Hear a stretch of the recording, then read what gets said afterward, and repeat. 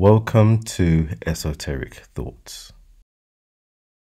In an earlier video, I tackled the subject of biblical typology, and since then, many subscribers have requested I do a series solely on the esoteric side of films that are based on religion and the subtle way religious messages are conveyed through films.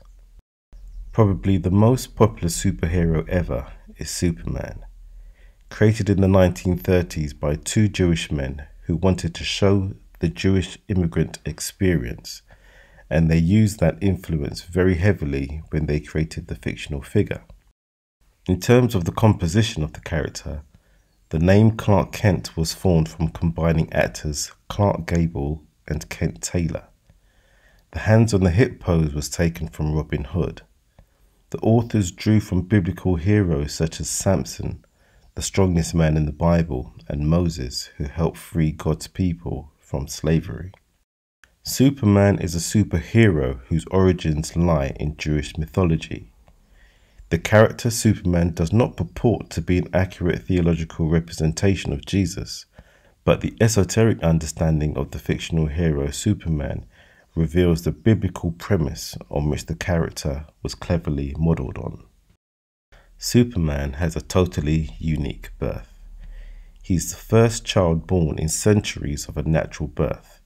As on Krypton, everyone is conceived through a sterile process that does not include sexual reproduction.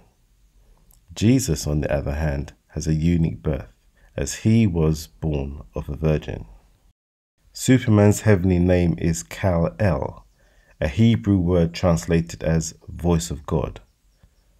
One of Jesus' heavenly names is Emmanuel, God is with us.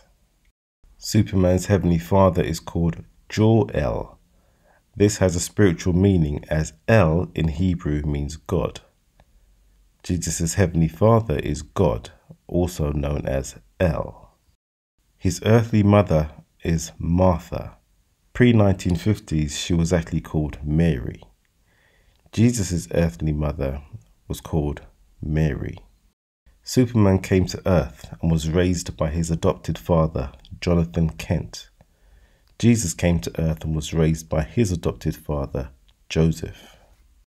Jor-El encodes the Codex, which contains all possibility of life in the heavenly realms, into the blood of Kal-El, Superman. Christianity holds the same notion for life and salvation that is only found in the blood of Jesus. Superman visits the Arctic wilderness to speak to his father's spirit. Jesus also goes to the wilderness to fast. Throughout his life, Superman is mocked and taunted, but still refused to retaliate in words and actions. Jesus was afflicted and oppressed, but never retaliated in words or actions. Superman had tremendous powers as a child, but refrains from using them unless to serve others. Jesus came in humility and refrained from using his omnipotent powers. Superman battles the evil forces of kryptonites, intent on destroying him.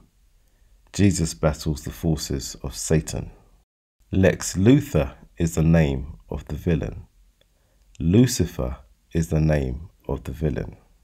Both Superman and Jesus were sent to Earth by their fathers to save the world, knowing that humanity would reject them. Both characters start their mission at 30 years of age. Superman gives himself up in a crucifix pose at the age of 33 years old and fulfills his mission for which he came to Earth. Jesus dies on a crucifix cross at the age of 33 years old and fulfills his mission for which he came to earth. Superman was cut off by the, his heavenly Father for the good of humanity. Jesus was forsaken by his heavenly Father for the salvation of humanity. The character Lois Lane is intent to spread the news of Superman.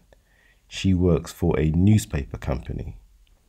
Mary Magdalene is collectively called to participate in his mission by spreading the news.